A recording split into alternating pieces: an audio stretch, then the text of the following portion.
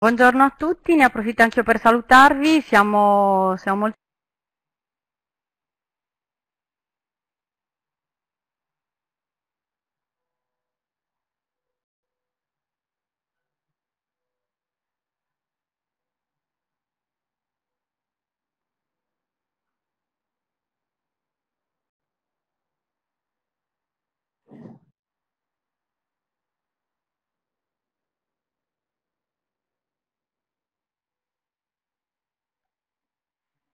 contenti di vedervi numerosissimi, abbiamo adesso 130 partecipanti, quindi siamo, diciamo, come vi ha detto Rita nell'introduzione, questo seminario online eh, rientra nell'ambito del corso Soft Skill per le Leadership, ma abbiamo deciso di aprire comunque la partecipazione anche ad altre persone potenzialmente interessate e a vedere dalla, dal numero di partecipanti ce ne sono molte potenzialmente interessate, eh, quindi siamo contenti di averlo fatto. Allora, faccio una brevissima introduzione del, sui contenuti del modulo e poi vado subito a, a raccontarvi di cosa, di cosa parliamo oggi.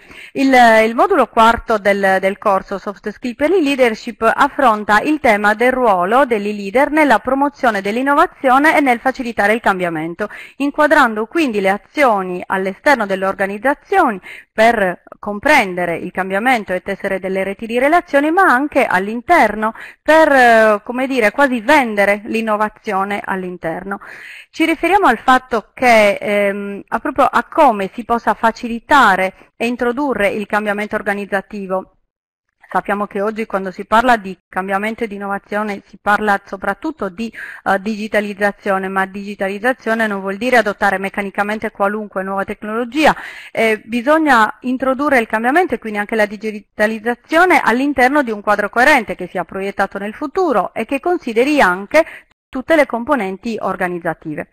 Quindi il tema del webinar di oggi. Il webinar di oggi è dedicato quindi proprio alla progettazione e all'attuazione dell'innovazione della pubblica amministrazione. Come sapete, come avete visto, vedremo l'esperienza di innovazione dell'Agenzia delle Dogane dei Monopoli, che è una delle buone pratiche segnalate dalla Commissione parlamentare d'inchiesta sul livello di digitalizzazione e innovazione della pubblica amministrazione, eh, pubblicata a ottobre 2017 quindi in particolare con la dottoressa Alvaro, che è direttore delle tecnologie per l'innovazione dell'Agenzia delle Dogane e dei Monopoli, vedremo proprio quali sono le strategie di pianificazione e programmazione adottate dall'Agenzia, entrando anche nel merito però del metodo applicato, quindi del coinvolgimento in tutte le fasi degli attori, degli stakeholder esterni e anche degli attori interni come sappiamo, per progettare e, e, soprattutto riuscire a portare avanti l'innovazione è indispensabile tener conto di molti elementi. A quello che ci sembra, l'Agenzia dell'Innovazione sta facendo un ottimo, l'Agenzia delle, delle Dogane sta facendo un ottimo lavoro, come sanno i partecipanti di questo corso, è disponibile anche un'intervista alla dottoressa Alvaro sempre in questo modulo,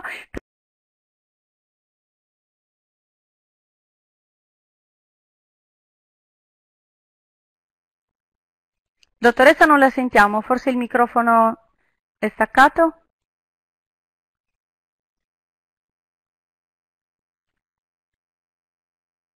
Vediamo.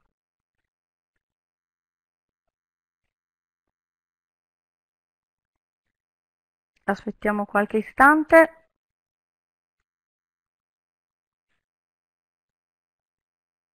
No, non la sentiamo ancora. Un attimo, allora riprendo io la parola. Forse aveva disattivato il microfono. Deve riattivare il microfono dall'icona in alto. Vi chiediamo qualche minuto di pazienza. Perfetto, allora le do... Adesso Prego. ci sentite? Buongiorno a tutti. Bene, possiamo anche nel frattempo mandare avanti le slide così ho un supporto di visual stimulation. Allora, buongiorno a tutti, grazie di essere qui così numerosi ad ascoltare questo racconto del metodo per l'innovazione digitale dell'APA.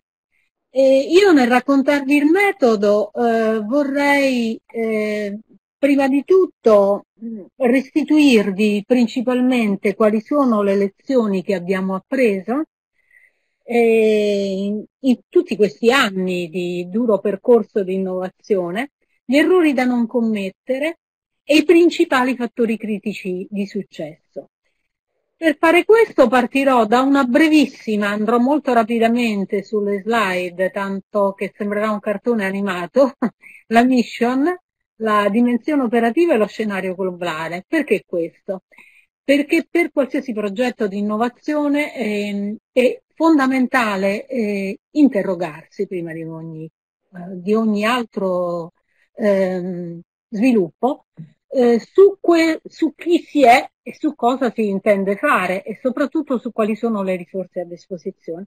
Poi passerò molto rapidamente a raccontarvi quali sono i principali vincoli mh, per eh, d'ostacolo all'innovazione, analizzando quelli che più imbrigliano l'innovazione, ovvero il quadro normativo che, sapete meglio di me, è stato quasi interamente disegnato per scambi di informazioni su carta e un metodo anche per affrontarli e superarli. E infine, che è la parte diciamo, principale del mio speech, qual è il metodo operativo di sviluppo e i fattori critici di successo che abbiamo eh, riconosciuto come validi fino al momento.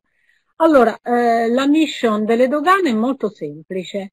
Bisogna proteggere gli interessi fiscali eh, di salute e sicurezza dei cittadini eh, eh, attuando le regole per favorire però lo sviluppo del commercio internazionale. Quali sono i principali vincoli che già eh, eh, ci imbrigliano nello svolgere questa missione, anche nello svolgerla in parallelo con gli sviluppi ICT e che anche i piani per lo sviluppo della dogana, chiamiamola elettronica, sono eh, eh vincoli europei, quindi direttamente nel caso delle dogane la regolamentazione europea è direttamente applicabile.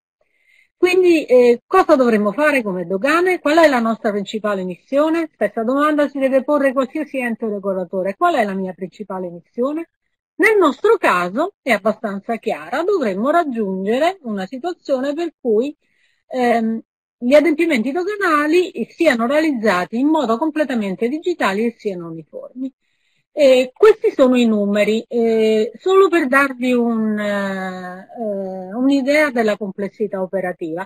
E se siete particolarmente curiosi su cosa fanno le dogane in dettaglio, sul portale dell'agenzia, nella sezione Focus Innovazioni, trovate una serie di eh, filmati che illustrano la strategia generale e i principali progetti di innovazione. Allora andiamo mh, mm, avanti. Nel definire un progetto di innovazione, prima di ogni cosa, bisogna guardare al futuro, perché l'ICT viaggia molto più rapidamente, di, eh, ma già più rapidamente in questi anni di come viaggiava nel passato. E per cui, come abbiamo disegnato il nostro ruolo all'interno della strategia europea, fungendo da apripista per ogni per ogni progetto di innovazione. Questo perché ci dovevamo confrontare con un ehm, scambio a livello globale completamente mutato e questo perché eh, noi ci rendevamo conto all'interno dell'agenzia che l'accelerazione della trasformazione digitale eh, si era talmente intensificata da arrivare eh, a distruggere i modelli di business e a premiare soltanto il rinnovamento digitale. Quindi ci, ci poniamo il problema, dello stesso problema che deve porsi eh, chi, eh, qualsiasi ente della pubblica amministrazione che intende innovare e di porre la propria strategia nel futuro dei prossimi anni, guardando a come cambia rapidamente il mondo. Allora, come abbiamo superato i vincoli normativi che derivavano eh, dalla regolamentazione comunitaria e dai piani di sviluppo comunitari?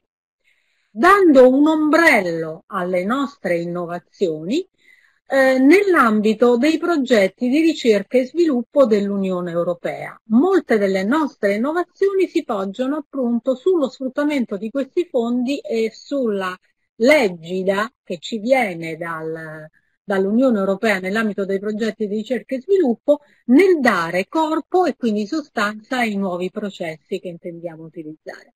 Nell'ambito regionale, come dire, visto che parlo in, in, particolare con la regione Sardegna, sebbene sia aperto a tutti il webinar, eh, parliamo anche dei vari piani operativi regionali di sviluppo dell'innovazione oppure di sfruttamento dei fondi di sviluppo regionale. E questo è l'esempio di un progetto, di un programma di interventi eh, pluriennale che riguarda il piano operativo nazionale infrastrutture e reti che svilupperà dei progetti fortemente innovativi nell'ambito delle regioni obiettivo.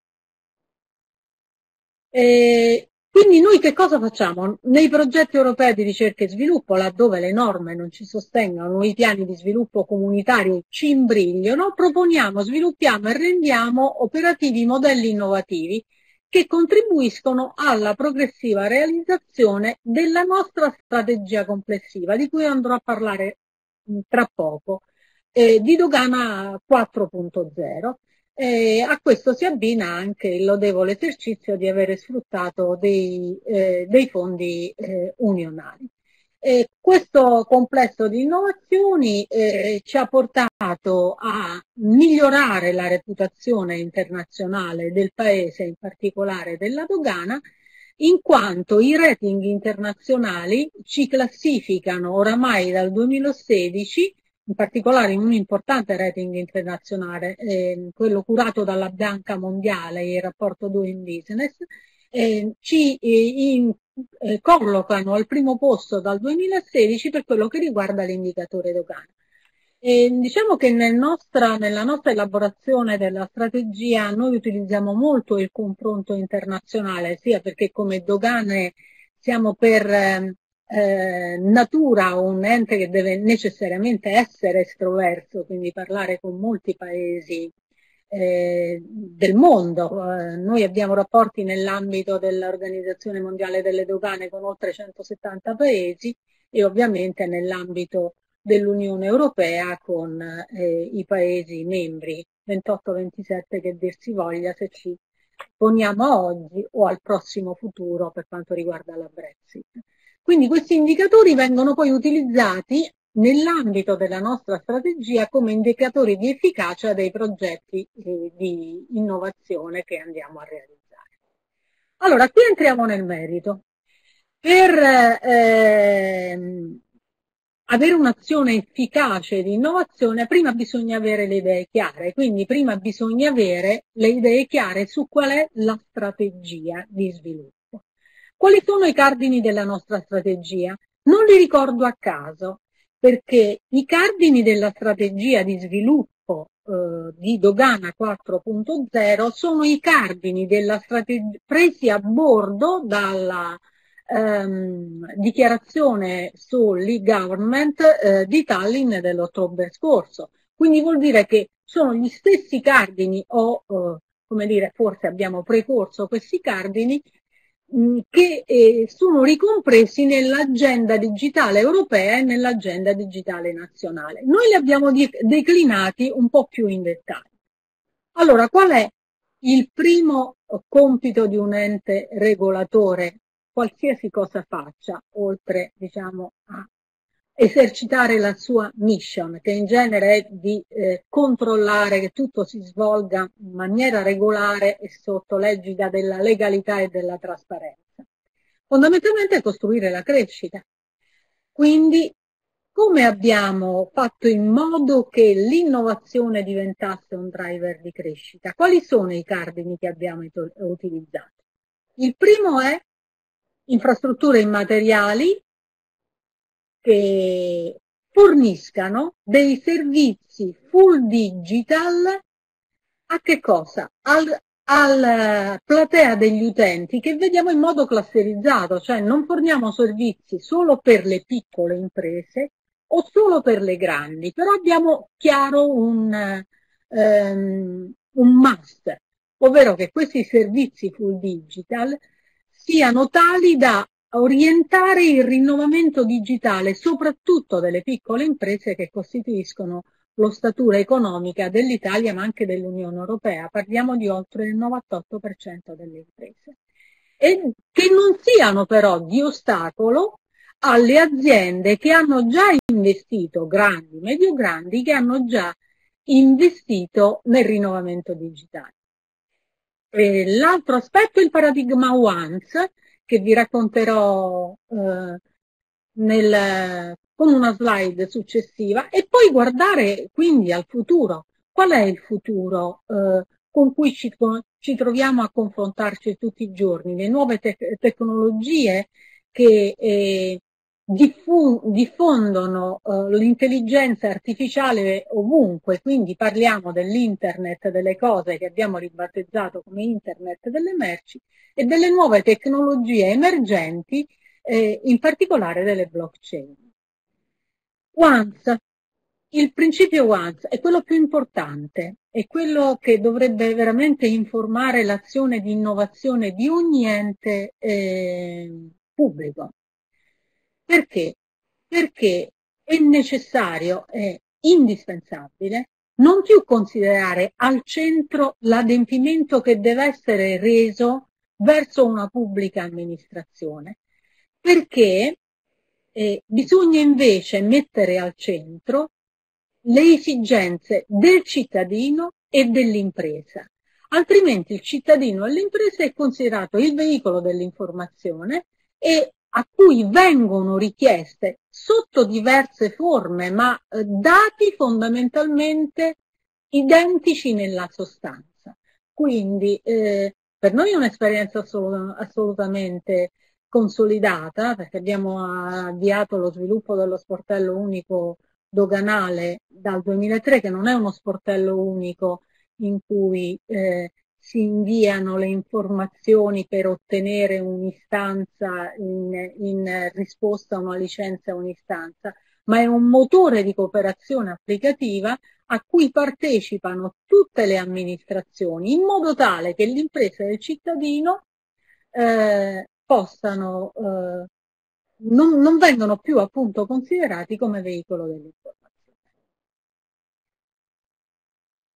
L'altro aspetto è basarsi, quindi guardare, eh, impostare i nuovi servizi sulle nuove tecnologie, la frontiera che stiamo già non solo esplorando ma addirittura rendendo operativa è di fare in modo che le informazioni sul, sul traffico delle merci ci vengano fornite dalle stesse merci. E anche nel settore accise, che è uno dei nostri settori di intervento, e noi abbiamo già abbandonato la logica dell'adempimento per mettere al centro il processo di business. Questo porta a qualcosa di molto semplice, l'abolizione dei registri, fare in modo che le informazioni che servono all'Agenzia delle Dogane e che ci auguriamo servono a tutte le altre amministrazioni che collaborano con l'Agenzia delle Dogane nell'ambito dello stesso adempimento siano trasmesse una volta sola, ma soprattutto siano il sottoprodotto dell'attività eh, operativa del, dell'impresa. Allora, andiamo molto rapidamente a quello che dovrebbe essere il, eh, a quello che avevo eh, detto essere il cuore del, del mio intervento. Quindi chiederei se mm, possiamo lanciare il primo sondaggio per capire eh, nel, nel vostro ambito un, un, aspetto particolarmente di particolare rilevanza che noi abbiamo eh, riconosciuto essere un, uno dei punti cardini per eh, la, eh, il successo di un progetto di innovazione. Il, io ho diviso in questa slide i fattori critici di successo in, in quattro categorie. La prima categoria è la categoria della governance, eh, in cui eh, vorrei far notare che i progetti di innovazione devono essere fortemente eh, sponsorizzati dal top management. Eh, e affinché siano eh, fortemente sponsorizzati dal top management prima che eh, diffusi o condivisi a livelli più bassi, per creare una leva che garantisca l'efficacia di questa condivisione, devono diventare gli obiettivi di, per, di performance eh, dei dirigenti dell'agenzia. Ehm, riesco a... Ok. Allora, per diventare gli obiettivi eh, del, del, dell'agenzia, eh, che cosa accade? Accade che eh, lo confronto, come dire, con quella che è la mia esperienza di, eh, dal confronto che, della mia esperienza con le altre amministrazioni con cui lavoriamo nell'ambito dello sportello unico, eh, l'altro fattore importantissimo per la governance è come previsto dal codice dell'amministrazione digitale è che ci sia una direzione eh, dedicata all'innovazione, un responsabile della transazione digitale. Perché è importante che ci sia? Perché è importante che in questo centro di imputazione di responsabilità siano eh, accentrate delle, le funzioni di progettazione, di coordinamento e di monitoraggio dell'efficacia dell'azione. L'altro aspetto fondamentale è che il ciclo di programmazione e pianificazione condivida tutte le altre articolazioni dell'ente pubblico, nel caso dell'agenzia sia condiviso con le direzioni di business. Proprio perché il gioco di squadra che noi auspichiamo nell'ambito del principio once per l'azione generalizzata nei confronti dell'utenza venga prima di tutto svolto all'interno dell'organizzazione. Quindi diciamo che nell'ambito dell'Agenzia delle Dogane questo requisito è rispettato eh, in quanto la direzione che ho l'onore di dirigere eh, si, è completamente dedicata al pro, alla progettazione, al coordinamento e al monitoraggio eh, dei progetti di innovazione. L'altro aspetto fondamentale è che nell'ambito della governance il, eh, ci sia una completa tracciabilità di ogni fase del progetto e una completa tracciabilità del contributo che deve essere assicurato dalle varie direzioni di business. Eh, mh, proprio perché nell'ambito di quello che noi chiamiamo un approccio olistico alla gestione dei progetti, debbono essere assolutamente considerate tutte, ne, nell'impostazione della, della strategia, eh, non solo gli aspetti tecnologici o gli aspetti di eh, comunicazione verso l'utenza, ma anche tutti i vari ambiti che riguardano oh, gli aspetti organizzativi, quindi le, l'eventuale modifica all'organizzazione nell'erogazione dei servizi, e, e gli aspetti giuridici, le eventuali modifiche alle norme, alle prassi necessarie.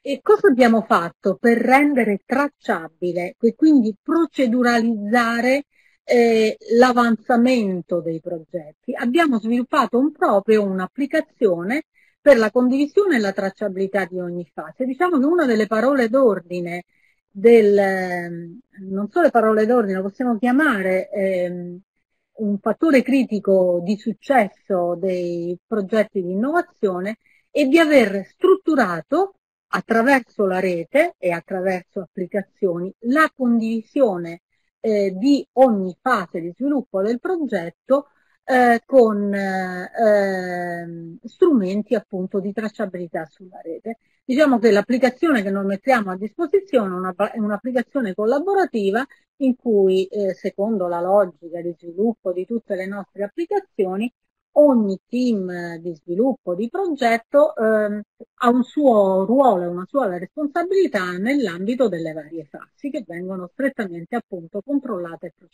e proceduralizzate. Sempre per andare in modo eh, sistematico, come facciamo, oltre a progettare, un progetto deve poi essere, quindi deve essere prima pianificato, poi sviluppato.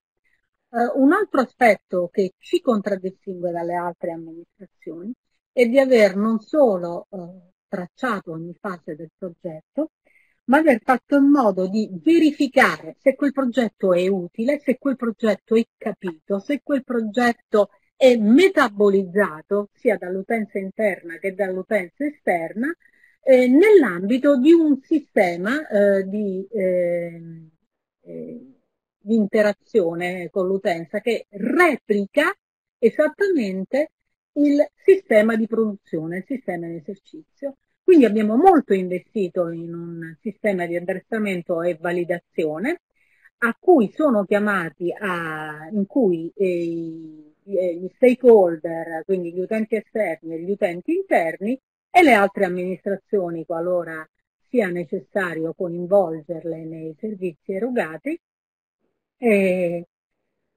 provano, hanno proprio una palestra di test eh, che consente loro di verificare in dettaglio come possono integrarsi con il sistema dell'Agenzia delle Dogane. Poi se su questa parte, diciamo, molto tecnica, eh, vedo sulla chat eh, delle domande specifiche, sono, risposte, sono assolutamente disponibili a rispondere in interattiva. L'altro aspetto fondamentale della nostra eh, organizzazione e di aver costituito proprio sul territorio delle task force eh, territoriali che sono coordinate dalla task force centrale e che hanno appunto il compito di supportare lo sviluppo e l'attuazione dell'innovazione. Lo sviluppo eh, perché li consideriamo come il termometro eh, delle esigenze degli stakeholder interni e esterni, eh, servono proprio come da sonda sul territorio e, e sull'attuazione perché forniscono nelle fasi di execution del progetto di attuazione del progetto la necessaria eh, assistenza agli stakeholder interni e esterni e questo poi per ogni eh, progetto. L'altra parola d'ordine è inclusione di tutti gli stakeholder nella condivisione delle strategie e dei piani operativi.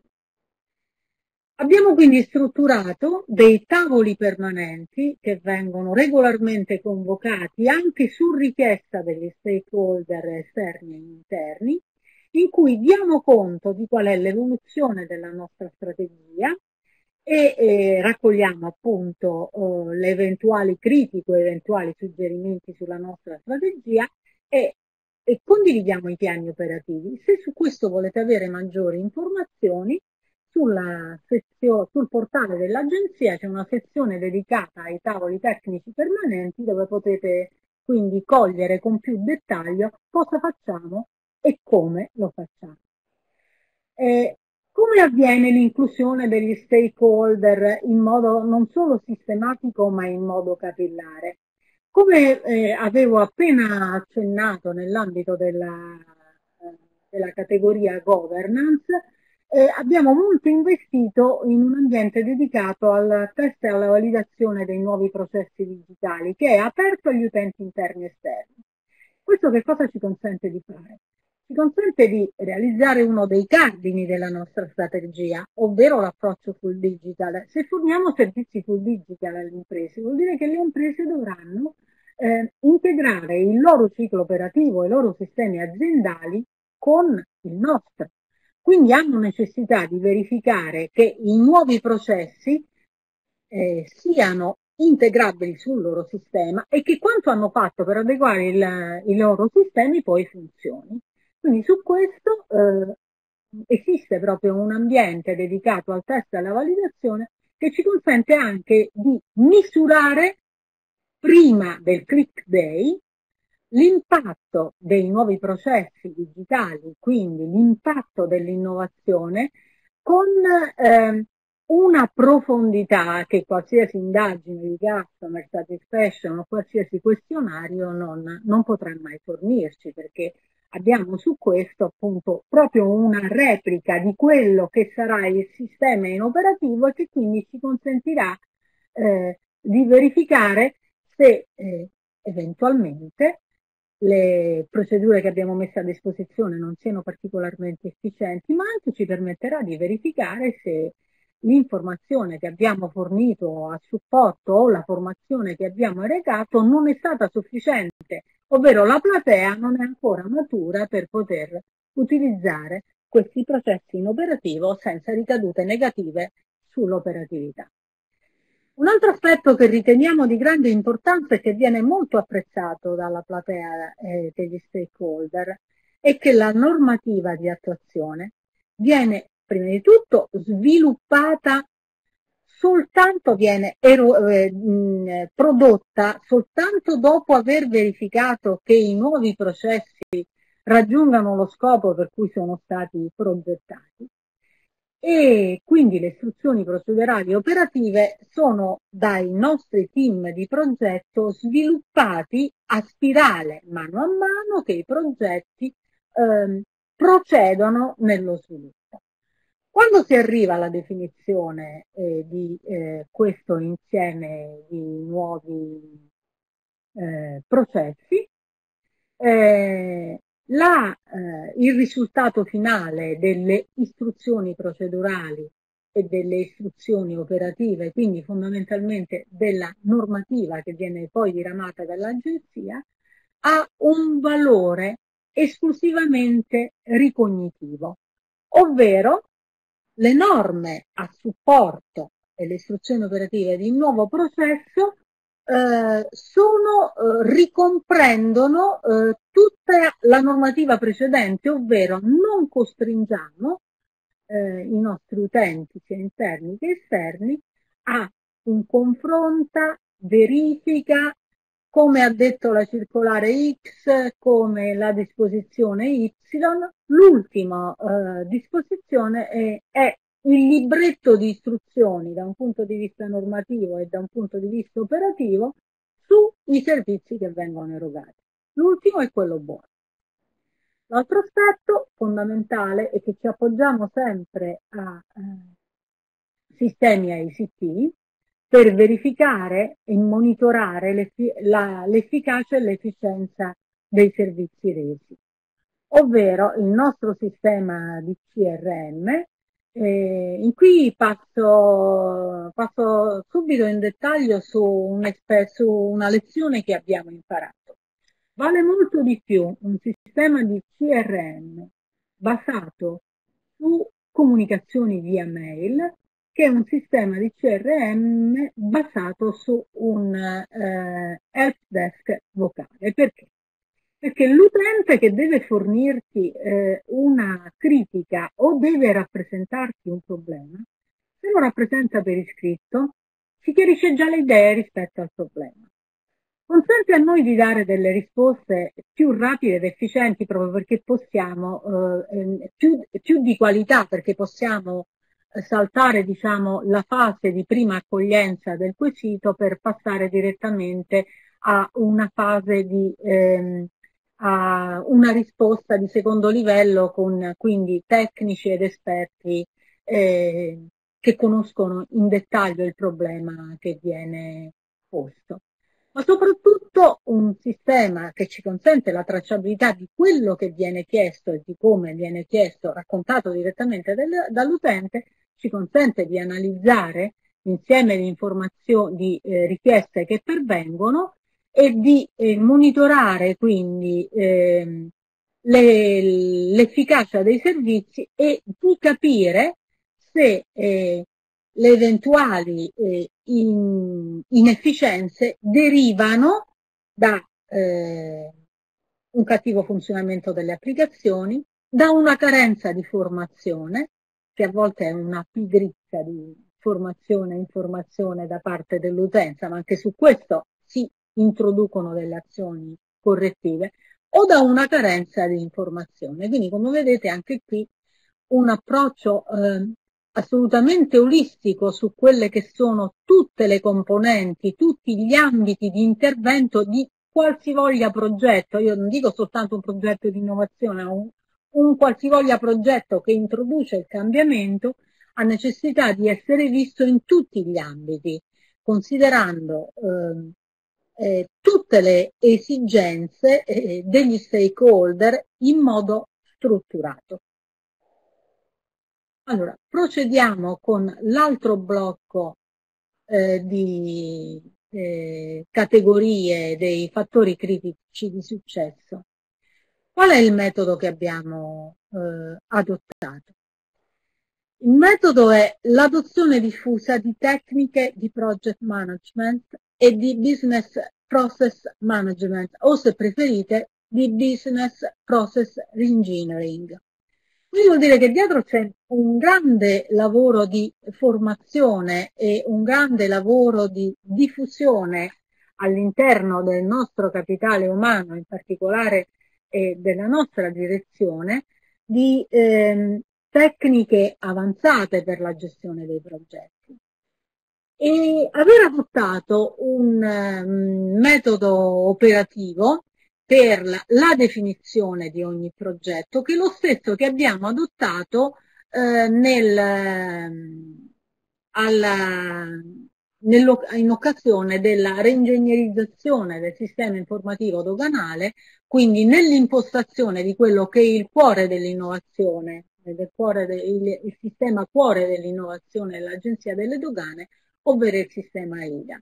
Cioè per ogni progetto noi andiamo a definire in collaborazione anche con gli stakeholder e clusterizzando gli stakeholder, cioè dividendoli in classi che ci consentono appunto di capire quali sono le loro esigenze. Faccio un esempio, eh, le dividiamo in classi per quanto riguarda la dimensione aziendale, per eh, processo di business, per core business. Ma eh, per ogni progetto andiamo quindi a definire qual è la situazione esistente, quindi qual è la fase di eh, quella che noi chiamiamo l'ESIS, il com'è, e andiamo a definire qual è il processo ottimale, quindi il to be, e poi andiamo a definire quali sono eh, le tappe di avvicinamento al processo, eh, al processo finale, al, al to be, al processo ottimale. In quest'ambito, come vedete, è un lavoro eh, che richiede un particolare impegno e uno sforzo corale, come vedete, di tutte le componenti dell'organizzazione, noi andiamo a individuare con dettaglio le modifiche normative da proporre o da attuare, le modifiche normative che, eh, come dicevo al, all'inizio, all'introduzione del, del, mio speech, sono eh, uno dei particolari, uno dei maggiori ostacoli, eh, sono quelli che mettono più briglia all'innovazione quindi identifichiamo le modifiche normative da proporre, le modifiche organizzative e le azioni di formazione. Anche sulle azioni di formazione eh, lavoriamo molto sulla rete, proprio alla, ehm, nel momento in cui abbiamo progettato nel 1999 il nostro sistema informativo AIDA, che annuncio che è in corso di parziale reingegnerizzazione proprio per adeguarlo a quelli che sono i cambiamenti, eh, l'accelerazione del cambiamento dovuto alla digital distraction, quando abbiamo impostato questo nuovo sistema abbiamo dedicato una grandissima parte alla formazione e informazione ehm, eh, degli utenti interni e esterni. E sempre se volete scendere in profondità su questi temi, sul portale dell'agenzia eh, trovate eh, l'e-learning academy che vi dà eh, il link all'e-learning academy che vi dà un'idea di come eh, ridiffondiamo la formazione e informazione presso ehm, l'utenza interna e esterna e come ci apriamo all'utenza esterna con corsi di formazione gratuiti. Importante ricordare che ogni qualvolta individuiamo nell'analisi di impatto che conduciamo eh, per l'introduzione di ogni innovazione, individuiamo delle aree critiche per quanto riguarda la formazione informazione e interveniamo con una campagna di formazione e informazione ancora più intensa. Quindi vuol dire che eh, quello che intendo dire, quello che intendo ehm, maggiormente eh, eh, sottolineare è che eh, alla, alla, base di questa erogazione delle formazioni eh, noi utilizziamo eh, con più intensità la modalità e-learning perché ci consente di eh, ovviare eh, a due inconvenienti. Prima di avere certezza eh, della qualità dell'informazione che viene, della formazione che viene erogata, cioè dei contenuti della formazione. Con un corso e-learning i contenuti della formazione sono definiti, sono uniformi e eh, l'altro aspetto è che si può eh, erogare la, la formazione in modo capillare e secondo i tempi di apprendimento eh, che ogni utente interno e esterno, ogni utente eh, ritiene più opportuno. E io vedo sulla chat una eh, domanda che mi intriga molto perché mi dà, come dire, il polso eh, del, di quanto ho comunicato fino adesso con il mio speech. E trovo eh, una domanda eh, che riguarda come avviene la condivisione ai livelli di compiti, incontri, videoconferenza, formazione. La condivisione è fortemente strutturata. Allora, condivisione con gli utenti esterni, eh, in primo luogo con il tavolo tecnico, eh, i customs o digitalizzazione accise, e in cui vengono invitate a partecipare tutte le associazioni di categoria, quindi siamo a un livello molto alto in cui si imposta la strategia.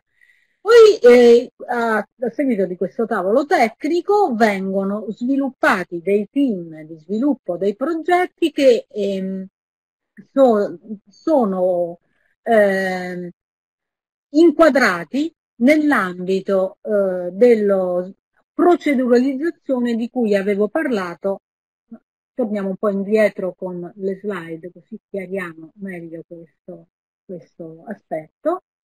Quando parlavo di governo proceduralizzato dei progetti supportato da un'applicazione, vuol dire che noi abbiamo una strategia complessiva in cui si inquadrano tutta una serie di progetti, quindi abbiamo una strategia eh, complessiva pluriennale e dei piani di attuazione annuale.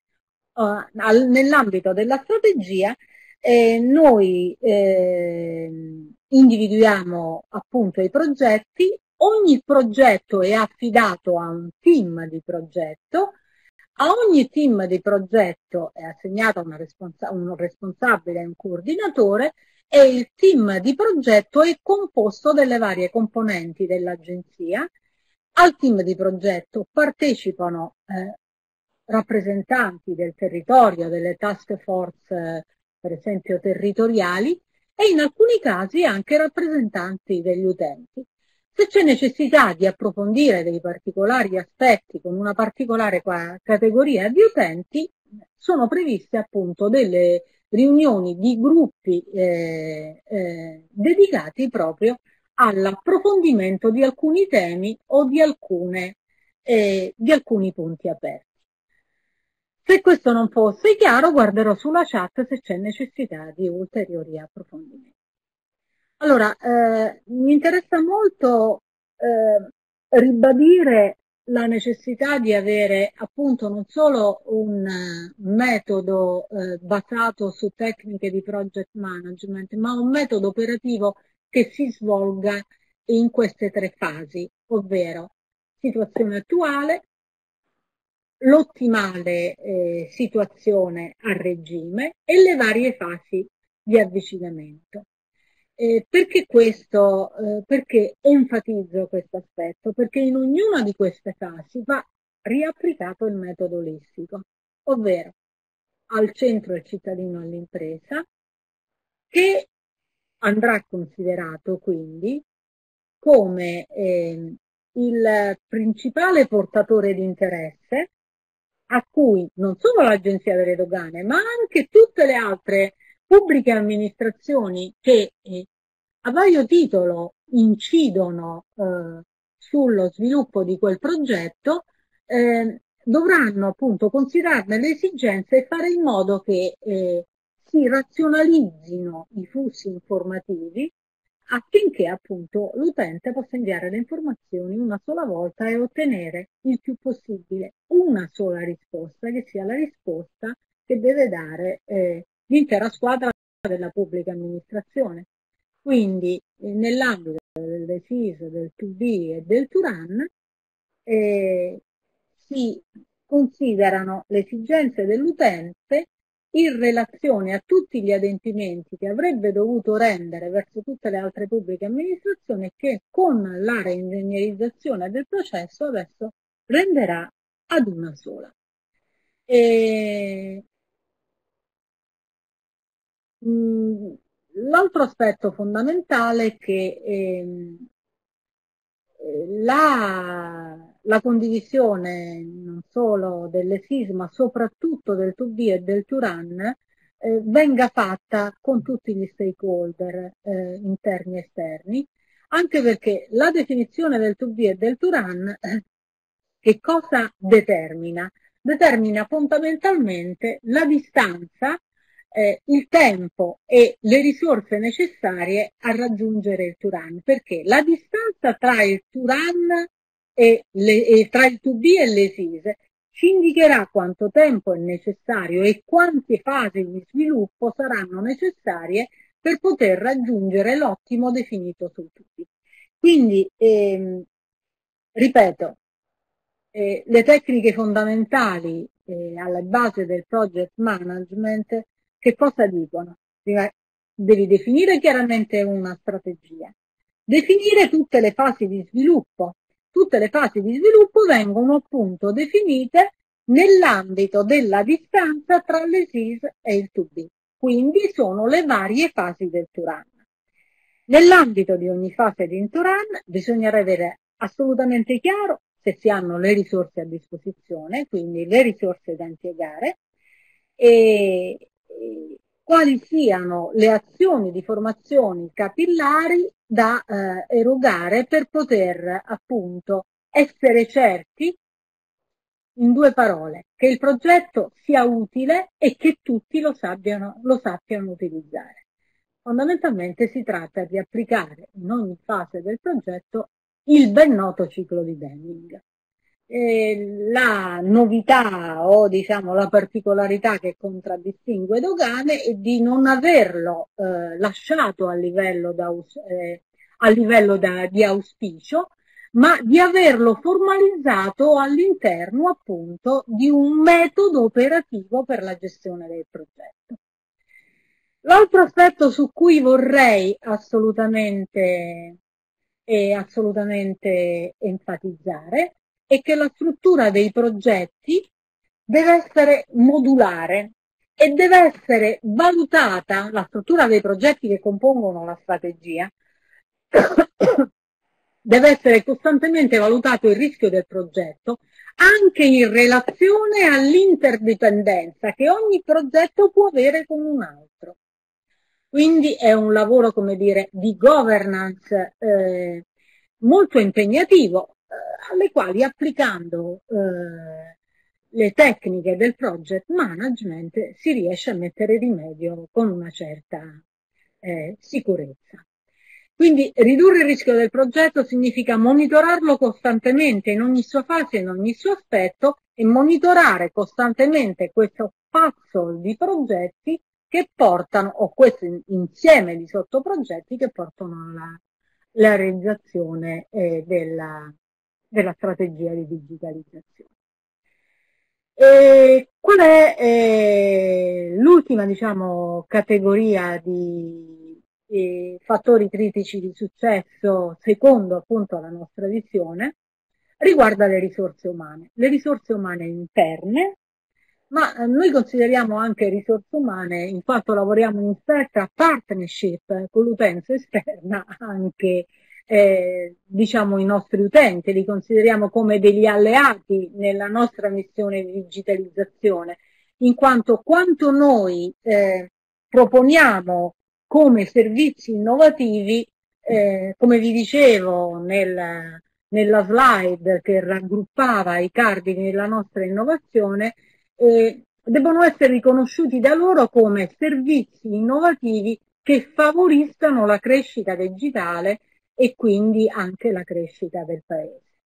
Allora, come vedete è fondamentale e importante la condivisione della visione a tutti i livelli e ovviamente rappresentata, eh, rappresentata eh, come eh, condivisione eh, a seconda ovviamente della platea a cui si, si rivolge. Quindi eh, ci sarà una condivisione della visione con strumenti adatti alle associazioni di categoria, una condivisione della visione con strumenti e comunicazione adatta a, ehm, interna, agli uffici o alle piccole e medie aziende. Ma è importante che ci sia questa condivisione e levisione perché se si vuole realmente introdurre il cambiamento occorre che il cambiamento sia prima di tutto condiviso eh, negli obiettivi di lungo periodo perché eh, l'obiettivo di lungo periodo si deve poi tradurre in azioni attuative di breve periodo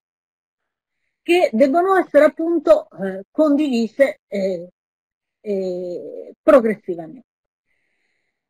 l'aspetto è importante. Come motiviamo il nostro personale? In carenza di strumenti motivazionali nell'ordinamento, non, noi in pubblica amministrazione non abbiamo molti strumenti motivazionali, eh, anzi diremo che sono quasi assenti a differenza diciamo, di quello che può essere fatto nel, nel privato o ne abbiamo diciamo, eh, con poche eh, possibilità di...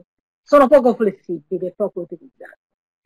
Diciamo che la motivazione in carenza di questi strumenti motivazionali eh, viene sostituita dal continuo eh, confronto con altre organizzazioni e con lo spirito di appartenenza. È chiaro che se appartieni a un'organizzazione che eh, porta diciamo, dei risultati che tu riconosci nel quotidiano, è più facile lavorare in carenza di strumenti motivazionali. Al continuo confronto, questa è una particolarità dell'Agenzia delle Dogane, con altri stati membri, altri organismi, organismi europei, cioè poter rappresentare che la tua organizzazione in un determinato ambito eh, riesce a portare determinati risultati costituisce anche una leva motivazionale. L'altra leva motivazionale è, dare dei contenuti eh, del lavoro eh, ad, alta, ad alto contenuto innovativo e ad alto contenuto eh, professionale. In questo la formazione specialistica del personale dedicato all'innovazione riveste un ruolo assolutamente fondamentale. E non dimenticare mai, eh, non dimenticare mai di eh, porre un'attenzione sulla formazione continua eh, per tutto il personale sulle innovazioni introdotte. Questo perché se ci si, ci si sente diciamo, parte di, eh, un, eh, di un'organizzazione che introduce il cambiamento, è necessario che il cambiamento venga eh, poi portato a livello capillare sul territorio e, e a contatto con gli utenti. Allora, io posso divertirmi a leggere eh, il, qualche domanda sulla chat. Magari non ho utilizzato tutto il tempo a mia disposizione, ma credo che sia, eh, siamo quasi agli sgoccioli perché osservando, ehm, osservando le domande che vedo arrivare sulla chat, credo che ci sia bisogno di qualche approfondimento su qualche tema. Sì, Quindi, eh, Roberto, dottoressa, in particolare si sta discutendo adesso in chat sul fatto che il problema è che molte attività di innovazione vengano normate eh, senza, ad invarianza di spesa. Insomma. Eh, senza, qualcuno dice che fare innovazione senza spesa risulta molto difficile per tutti gli enti e questo quindi direi che è un, un tema sta, del quale eh, si sta discutendo in chat. E, mh, L'altro, però poi qualcuno, Angelo Pilotto, aggiunge che ci sono delle metodologie applicative per innovazioni che non comportino eccessivi impegni di spesa, quindi insomma questa è proprio un'osservazione. Eh, direi questa è l'osservazione principale, poi a, ad, ad, altre domande le ha dato risposta, si parlava ad esempio di cosa volesse dire motivazione in carenza di strumenti motivazionali nell'ordinamento, quindi ha risposto. Eh, in relazione invece alla riduzione del rischio di progetto, Giampiero Podda chiedeva se ci si riferisse al ciclo di Deming, Deming. che è il ciclo di Deming, vero? Sì, esatto, ciclo sì. di Deming. Perfetto, quindi non so se, se vuole sì, rispondere su questa, sulla, su questa osservazione del, dell'innovazione senza spese, che direi è una, è una, Guarda, una cosa... Allora, l'innovazione senza spese è un paradosso, non si può fare l'innovazione senza spendere. In parte ho detto come rimediamo um, nella mia, nelle slide che riguardavano appunto i progetti di ricerca e sviluppo e davo la risposta sia a eh, come si possa ovviare alla mancanza di risorse con dei buoni progetti eh, finanziati dai fondi unionali. C'è su questo molto da fare in Italia e magari eh, creando delle partnership con uh, aziende e, e anche, ampie, anche, altri organismi pubblici che questi fondi eh, diciamo, sono in grado di sfruttare. Questo è il primo tema. Sul fatto che non si possa eh, spendere, io dico che bisogna spendere meglio perché i fondi per l'innovazione ci sono e che bisogna meglio indirizzarli. La, posso eh, sintetizzare la mia risposta eh, con eh, quella che è il mio cavallo di battaglia, cioè anche nell'ambito della, della, dell'impiego delle risorse e dell'impiego dei fondi, bisognerebbe sempre pensare al paradigma one. Prima non reinventare mai la ruota, guardarsi intorno e vedere se qualcuno ha già sviluppato. Questo è già tutto scritto nel codice dell'amministrazione digitale. Quindi la necessità del riuso, di mettere a disposizione delle altre amministrazioni le, non solo le buone pratiche, ma anche le buone applicazioni. E noi siamo assolutamente disponibili a mettere a disposizione la nostra applicazione per la proceduralizzazione dei progetti che si chiama PM Agenda, quello è il suo nome, ma è di tutta evidenza che per poter utilizzare quell'applicazione bisogna prima di tutto strutturare l'organizzazione affinché la possa utilizzare. Cioè, l'applicazione PM Agenda non è una bacchetta magica. Dietro c'è organizzazione, impegno del top management, collaborazione con le altre amministrazioni e permettetemi di dire una grande tenacia, perché la, la resistenza all'innovazione è qualcosa che si ripropone, non è solo resistenza all'innovazione, io la, chiam- la chiamerei resistenza in genere a cambiare le abitudini, quindi al cambiamento, è qualcosa che comunque si ripropone. Su questo bisogna essere fortemente corazzati, costruirsi un'organizzazione intorno e avere persone che lavorano con te che credono assolutamente in quello che stai facendo. Abbiamo altre domande? Allora, c'è un'altra domanda, questa di Nazareno Princivalli. Avete utilizzato strumenti particolari per la modellazione dei processi? Dall'ASIS 2B fino al Turan? Questa. Allora, eh, modelli particolari, all'inizio dello sviluppo del sistema IDA abbiamo utilizzato quello che allora c'era di meglio, eh, ovvero eh, la, la, modellazione dei processi basata sulla teoria degli atti linguistici di Inoclad Forest. Adesso utilizziamo delle tecniche di mappatura dei processi basati sul BPMN, Notation, Business Perché utilizziamo? Perché abbiamo, eh, dopo una lunga battaglia, eh, abbiamo eh, ottenuto che anche a livello di Unione Europea, nello sviluppo delle disposizioni di applicazione del codice, finalmente si ragionasse prima in termini di processo e poi in termini di norma.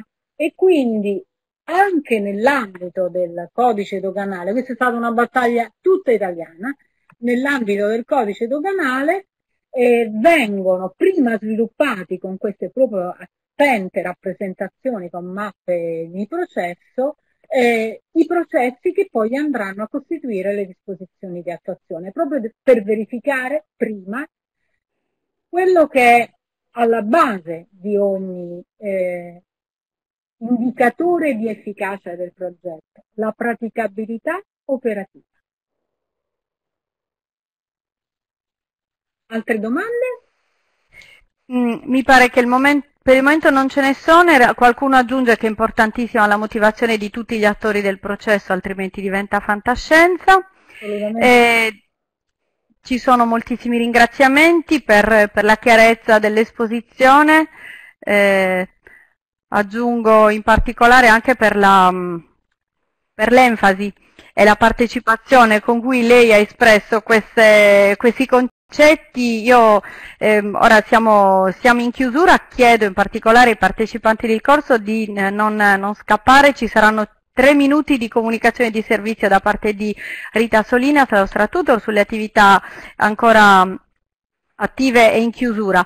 Eh, io non lo so, è, è, impossibile fare una sintesi di quello che ci ha detto o commentarlo, anche perché ha dato moltissimi contributi, la ringrazio davvero perché al di là della, insomma, de, dei materiali si vede che è, una, è un aspetto molto, molto sentito e, e, non è evidentemente un caso che l'Agenzia delle Dogane risulti davvero una, una buona pratica. Ehm, quello che mi viene da dire, forse per aggiungere qualcosa rispetto alla discussione che si sta facendo nel corso delle soft skill per l'ILI, leadership eh, è quello che ho sentito in base a quello che ci, che ci sta raccontando eh, e che sicuramente si percepisce. Intanto una, una grande attenzione a una vera condivisione del cambiamento negli obiettivi di lungo periodo e si percepisce davvero in tutto quello che ha detto una vera attenzione alla condivisione, non una, un dire che bisogna stare attenti, una vera attenzione a tutti gli stakeholder mi pare che in tutto il suo discorso anche il fatto di considerare tutte le iniziative o i confronti con l'Unione Europea, con gli altri Stati, con le altre situazioni,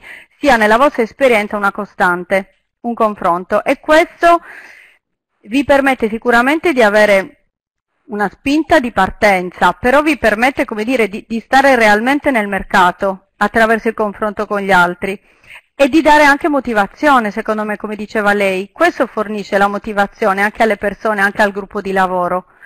Capire che si fa parte di qualcosa che sta avvenendo, che è condiviso, rispetto a cui si sta lavorando, si sta ragionando, cioè non siamo atomi eh, singoli, no? eh, lanciati un po' nello spazio perché questo fa capire perché vanno fatte certe cose e spesso è molto difficile, soprattutto nella pubblica amministrazione, in cui, l'altra cosa che volevo dire, in cui spesso è la normativa che guida. Ora, rispetto a questo, il fatto che lei abbia detto che per voi la normativa arriva dopo aver sviluppato i progetti e non è un driver di cambiamento, non è quello che dà lo spunto a cambiare, io mi rendo conto che per molte persone qua oggi, eh, dire, rappresenti un po' una, una differenza.